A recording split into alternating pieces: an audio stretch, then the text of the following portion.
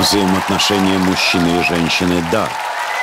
Была ли это борьба между мужчиной и женщиной? Ну, борьба не физическая, конечно. Скорее да, чем нет.